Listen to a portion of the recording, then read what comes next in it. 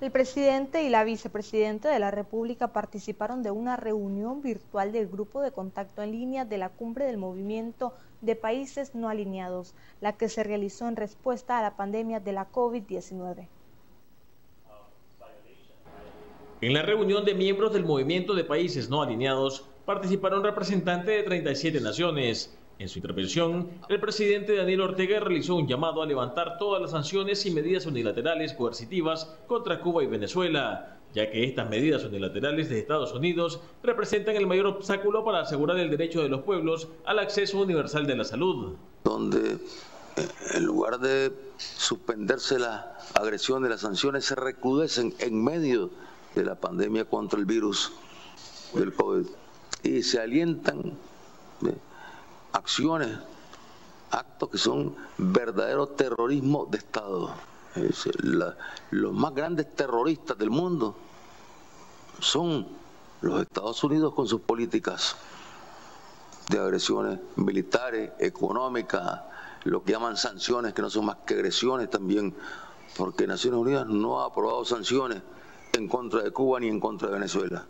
El presidente Ortega llamó a la unidad de los países no alineados para incidir en un cambio que lleve a la humanidad a un mundo más justo. Y de esa manera, pero influir eh, para que se pueda cambiar el modelo eh, que se ha impuesto sobre el planeta y que tiene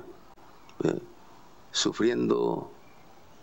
la violación de los derechos humanos a millones de seres humanos. El presidente de Venezuela, Nicolás Maduro, recordó la importancia de acceder a las pruebas diagnósticas e impulsar el estudio de posibles vacunas para garantizar el acceso a la salud de los pueblos. Así que propongo que nos incorporemos a las pruebas para la realización de la vacuna, que nuestros científicos tengan los ojos, el cerebro, la participación directa de manera dinámica y que logremos garantizar como movimiento de países no alineados el acceso a las pruebas diagnósticas y el acceso a todos los protocolos de medicamentos